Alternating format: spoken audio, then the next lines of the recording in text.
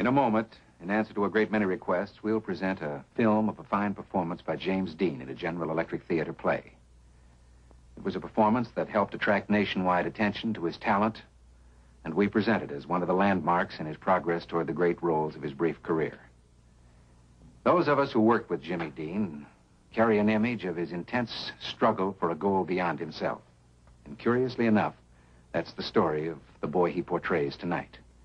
Eddie Albert is the narrator, Natalie Wood the girl in Sherwood Anderson's I'm a Fool.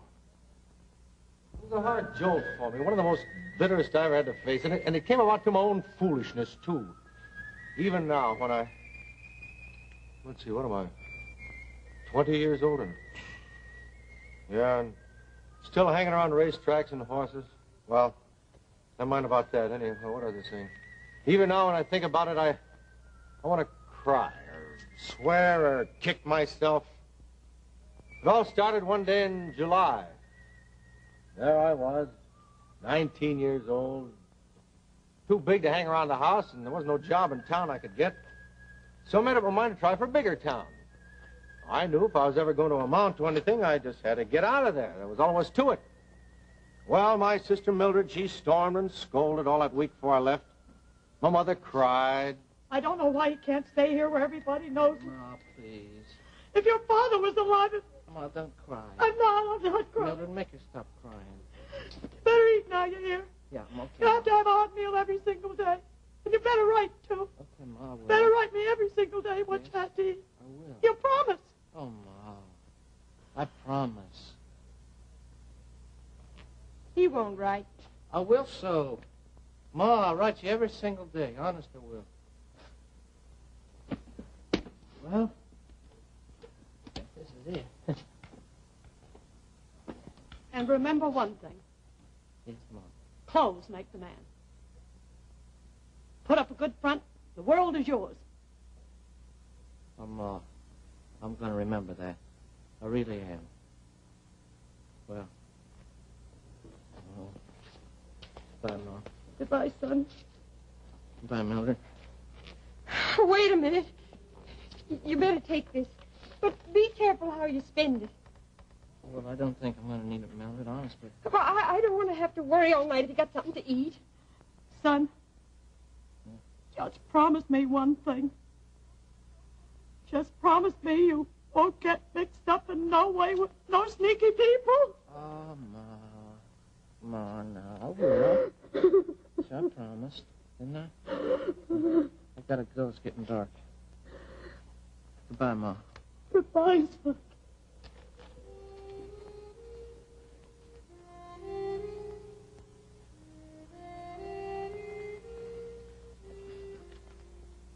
There are a lot of things you gotta promise your mother when you go away.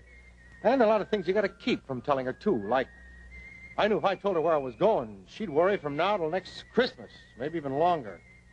Because I knew the first place I was going to go to the minute I got to Sandusky was to the racetrack.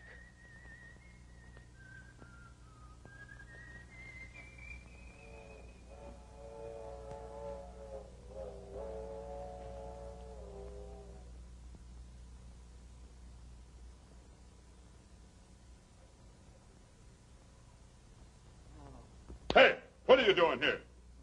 Nothing. I was just. Well, I don't know. Well, don't you know better than to go fooling around here? I didn't do nothing. I was just. I just walking. That's, That's all. a good way to get yourself shot, boy. I just got in town. I was looking for work. I thought maybe I could This find. time some- of night? I, I just got off a train there. Well, you better get out of here. I can tell you that right now. I didn't mean nothing. Honest, I didn't. I just. I just wondered maybe if I could. I might. A, All right. What kind of work you looking for? I want to be a swipe. You know anything about horses? Well, sure. What? Oh well, they. Uh, sometime. Well, well, I don't know. They. How you expect to get yourself a job around horses if you don't know nothing about them? Well, I guess I don't know too much about them, but. Uh, well. Well, I like horses. In fact, I, I, I really love them. And I just figured if I could get some work, I thought then I could learn. I could learn right offhand. that I could. Well, what I what I thought was that um, maybe you could help me. Maybe you could tell me where I could find some. Yeah, you don't look none too strong, and that's the truth. You can't be too bright or you'd never want to be a swipe in the first place. Now tell me, you uh, know what a swipe does? He just uh, uh, cleans things up and, uh, well, just helps around and all that sort of thing, I guess. Guess you don't even have a place to sleep tonight, do you? Well, I, see, I figured that I'd just, uh, you know, kind of what? uh, uh, y- do you know I can just sleep uh, just about any place? I can. I don't even care. I I was going to sleep in them grandstands over there. On them hard boards? Why, you're the craziest boy I ever seen in my life. Now look at that. All this talking's got a nervous. I told you, you got to keep it quiet around horses, boy. They got nerves like a young girl. Didn't I tell you that? Well, yeah, well, no, well, no, you didn't tell me nothing. Well, I should have. Go on, go on in there and get some sleep on that. Hey, I got to tell you everything. Now, we get up early in the morning around here, and I don't want to have nobody poking around all day with his eyes half closed. Well, go on, boy, if you're going. Uh, thanks, thanks an awful lot.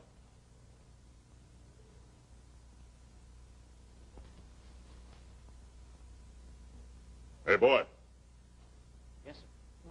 you can call me Bert.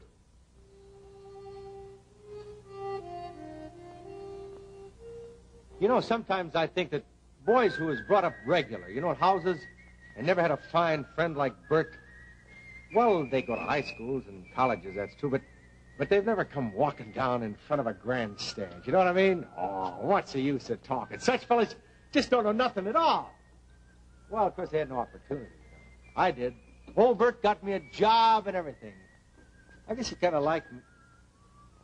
I don't know why. but- Well, Never mind that. Anyway, I had this job, and that was fine, and uh, I spent all my spare time with Bert, and he taught me lots of things. But the best of all was the times that Bert and me would hitch up a horse to a cart, you know, we'd go riding out in the country slow and steady like, oh, that was fun, fun.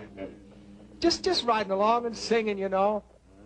Well, one day, I guess it was October, we was riding along like we always did, and I seen this girl. I guess that was about the beginning of my downfall.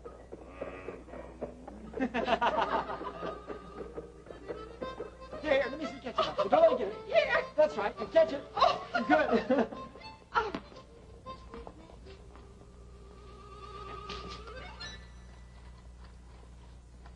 Thank you very much. I hope you haven't ruined your trousers. no, you couldn't ruin them. They're too old. oh, oh, well, here's something. No.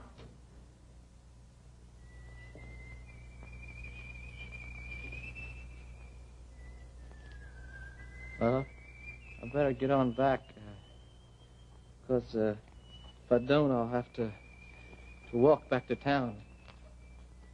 Thank you again.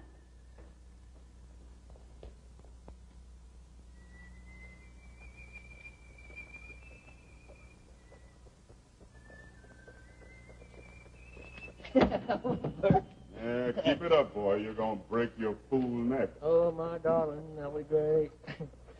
what? What? What'd you say? What kind of way is that to ride a cart? You're riding, sit up and ride right. You're going to stare your eyes out, get off the cart and stare. I bet they're just about my age too. Fancy clothes are playing ball in, for heaven's sake. Keep it up, boy. You're just asking for trouble. I bet that's kind of go to college and all. Hmm. Sure don't seem stuck on themselves, though. You know that? Yeah, I've seen many a boy get himself burned on that candle. Gets around the racetrack, wins himself a dollar or two, and first thing you know, he's trying to be two or three other things. You better learn this, boy. You are what you are, and they are what they are. the look on your face when you seen that girl. you should have seen it, boy. You call me boy. Oh,